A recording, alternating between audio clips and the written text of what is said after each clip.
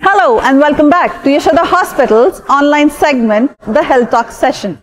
The latest advancements in clinical care and surgical oncology has revolutionized the way we deliver care to the patients. What once seemed impossible in the field of cancer research is now a reality. Thanks to the innovations and technology that have been delivered in the field of surgical oncology. So let's discuss about recent advancements in the field of surgical oncology in our today's episode. I'm Dr. Lakshmi and joining us on today's episode, we have with us Dr. Chinnababu, consultant surgical oncologist from Yashoda Hospitals, High Tech City. Welcome, doctor. Thank you so much.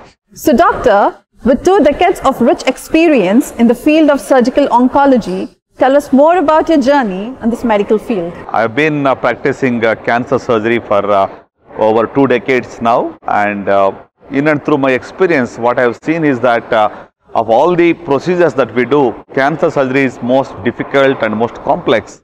And when I finished my general surgery, I was uh, motivated to do surgery which is more complex, more difficult, and that's how I chose to become a cancer surgeon because this is of all the branches the toughest branch to do a most complex surgeries uh, to cure cancer. So that's how I became a cancer surgeon and uh, over the last two decades I've uh, transformed myself from being an open surgeon to a laparoscopic surgeon and then now uh, for the last one decade I've become a robotic cancer surgeon. So, is it something like you always wanted to become a doctor? Was it by chance or a choice? Well, uh, I never thought or dreamt that I would become a doctor because uh, I come from uh, uh, a village, but uh, it so happened that uh, uh, I had uh, the best education and uh, I was given the privilege or the opportunity to study medicine. That's how I pursued medicine and then went on to do the super specialization in surgical oncology. So, surgical oncology, I'm sure that's a challenging field. So, how did you choose this path, doctor? Uh, well, uh, as I mentioned before, uh, not even becoming a doctor was in my remotest mind or uh, imagination. Uh, but uh, because of the good education given to me through Navodaya schools and uh, went on to do the medicine and then do, became a surgeon. And I have a very funny story of how I became a surgeon. Uh, you know, when I was a child, I, I was good in handling the sickle and cutting the grass. And uh, I always say that's where my journey as a surgeon began when I accidentally cut a snake with a sickle. So I say my journey is now from sickle to scalpel. And with the advent of robotics, I say it is not just sickle to scalpel, but it is a scarless surgery. Fantastic. I think that's interesting that your first encounter was with a snake. Any more something like that? Uh, yeah, definitely. I think, uh, you know, I mean, when you look back, uh, it's all providential, how, uh, you know, everything works together for good. So I remember, uh, uh, you know, I, I wanted to kind of get good education and uh, appear for an Navodaya entrance uh, exam. And, uh, but I didn't have the boldness to rise up and say to my teacher that I want to write the exam. And uh, it so happened that they selected five students for the exam. And uh, three of them get disqualified.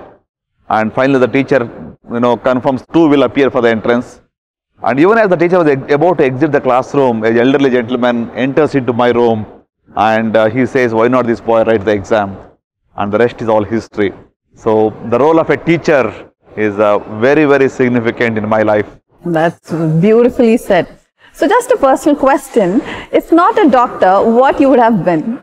Well, I can't really imagine uh, what would have been my uh, calling uh, without being a doctor because, uh, well, I've never regretted uh, being a doctor thus far. And the last two decades, not a single day I ever thought why I became a doctor, though it is a very daunting task. You need to sacrifice a lot of your personal time, family time, but yet never ever thought why I became a doctor. So, in that sense, probably I do not know what I would have become. But nevertheless, let me re, uh, uh, reconfirm that, you know, this is a calling and a mission. I enjoy it thoroughly. Absolutely. So, doctor, what once seemed impossible in the field of cancer research is now a reality. And thanks to the technological innovations, what we have. So, what do you have to say about this? Definitely, there has been a dramatic change with respect to the outcomes in uh, cancer uh, treatment. So, may it be the technological advancements in terms of laparoscopic surgery, or may it be robotic surgery, or for that matter, in terms of the uh, newer drugs that are available, or in terms of the radiotherapy techniques that are available today. I think we have uh, come a long way. Gone are the old days wherein we used to have a lot of side effects and a lot of uh, disfigurement because of the cancer care, therapy itself. And today we are looking at a better quality of life and uh, the best outcomes to the patient. So you've mentioned robotic surgery. So what is your experience in this field especially? Because I'm sure that robotic surgery is a fancy term. Uh, well, uh, robotic surgery is not new. If I have to say, the robotic surgery has been already in the market for close to two decades now. I was one of the earliest in the country to adopt this technology uh, way back in 2012. That's when uh, I was trained in Paris and uh, Seoul uh, for robotic technology and I went on to uh, get trained even in Roswell Park Memorial Cancer Center, uh, Buffalo and also had a short stint at Memorial Sloan Kettering Center in New York. So what I mean to say is that this is uh, the computer technology has come now into the operating room. So robotic is nothing special in that sense because everywhere we have computer technology and even into the operating room we have computer technology. So the robo is basically you know a master slave relationship wherein just like how you do a joystick uh, play with for a video games this is a similar tool that is available so that uh, you sit at a console and the robotic arms are docked to the patient and your instructions are translated into the uh, you know the robotic arm uh, movements so in that sense it is uh, basic essentially a surgery that you perform uh, at the console but uh, at the patient side uh, it is the robotic arms which uh, do a precise fine movement So if we specifically talk about the benefits of robotic surgery, I'm sure it's beneficial for both the doctor as well as the patients. So what are the benefits of this surgery in particular? Well, uh, after having been a laparoscopic surgery and surgeon for close to one decade and since last 10 years, I've been uh, seeing the difference between the open laparoscopic and robotic surgery. I think the single or the best advantage of robotics is uh, the vision. We have uh, 3D vision, unlike in laparoscopy. And uh, the other advantage that I find is uh, the magnification with robotics. So we have a 12x magnification in robotic surgery. It's very precise, the dexterity is good, the instruments have got a fine range of motion. The 7 degree range of motion, for example, you need to reach a deeper area in the pelvis or in the chest. So these instruments can maneuver and reach those difficult to reach areas very easily. So in that sense, a complex surgery can be performed easily with robotics than with laparoscopy. And apart from that, some of the advantages to the patient in terms of the outcomes, yes, uh, they have a very less uh, hospital stay, less blood loss, there is a very less infection rate and quicker return to normal activities. And overall, the experience in the oncological outcomes uh, wise as well, they are much more safe and uh, uh, th- you know they get all the benefits. So it is not just for the surgeon, but even for the patient in terms of the oncological outcomes. Uh, there is a superiority in many cases, and uh, it is uh, it is the not just the future. I would say it is the present. I think that's well said. If we want to discuss about the outcomes, is it the same for all the patients or does it vary from patient to patient depending upon the stage of the cancer or what surgery we are taking? Well, uh, oncologically, the outcomes depend upon the biology of the disease and also the stage of the disease. So these two are the strongest determinants for the outcomes in cancer. But with respect to the procedure, what I would say is from the patient's point of view, the value for a procedure is directly proportional to the uh, in terms of the efficacy. So it is directly proportional to efficacy, whereas it is inversely proportional to the invasiveness square. So less the invasiveness, more the patient value of a procedure. So the procedure's value is always, you know, uh, looked upon efficacy versus the invasiveness. So more the efficacy, more the patient value, less the invasiveness, more the value for the patient. So doctor, it's time to bust few myths.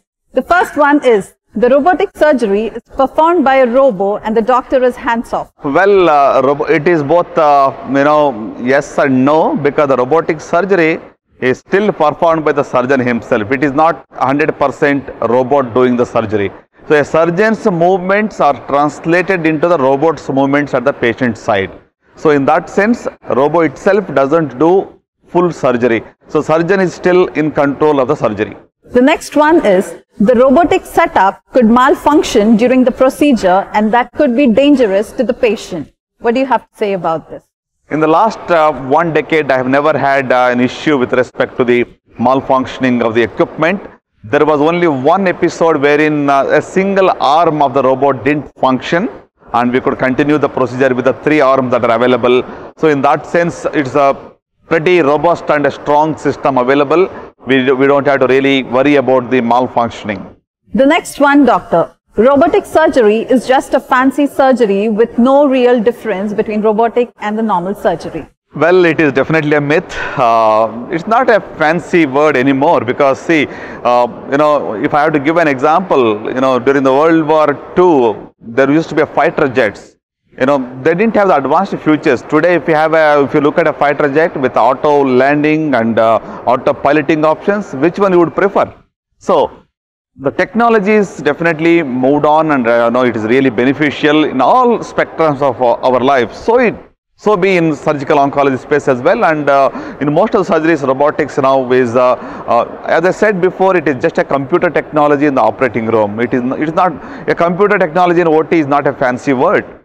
So in that sense I I know I have uh, real time tasted the benefits of robotic surgery for the last 10 years and I can tell you for sure the patients are the beneficiaries uh, by this uh, advent of newer technology. I think I absolutely agree with you on this part, doctor. And the last one, robotic surgery can be performed by any surgeon.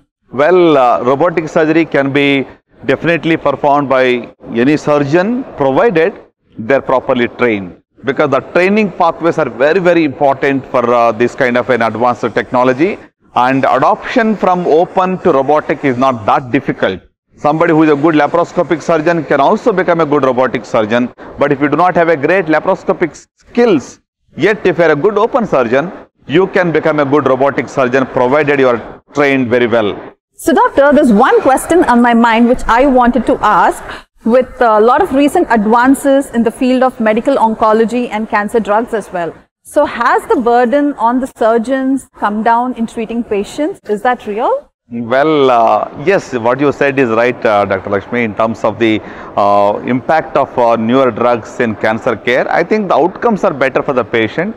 And in terms of the load for uh, the surgeries as such, I don't say that it has come down. That is because the overall cancer burden is rising.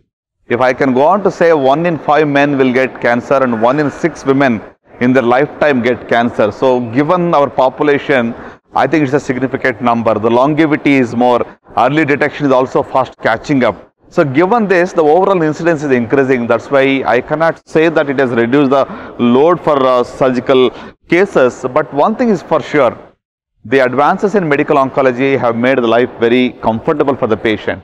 For example, today we talk about precision medicine. So because of which uh, patients are able to get a precise targeted therapy which has got lowest side effects. So in, if you look at all this, you know, the benefit is for the end user, the, for the patient.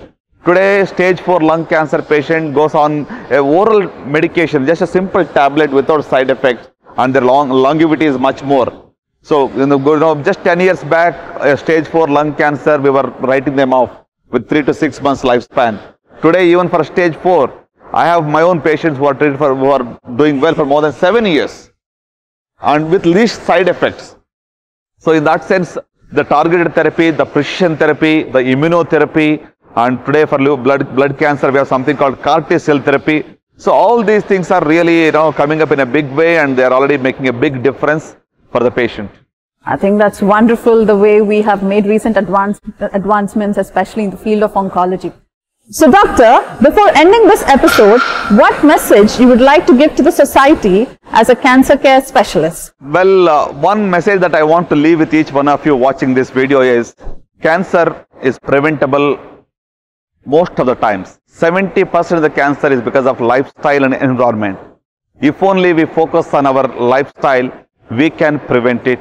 If we cannot prevent it, at least we can detect it early so that the outcomes are best and the technologies advancements both in surgical, radiation oncology and in medical oncology have made the cancer care much more simpler, much more curative. So don't lose hope. We all can together beat cancer. Thank you so much for watching this. Thank you, doctor. It was wonderful talking to you. Same here. Thank you so much. So this brings us to the end of this episode. Hope this episode was informative on the topic robotic surgery in the field of surgical oncology. Do join us for the next week as well. Until then, take care and stay healthy. Thank you.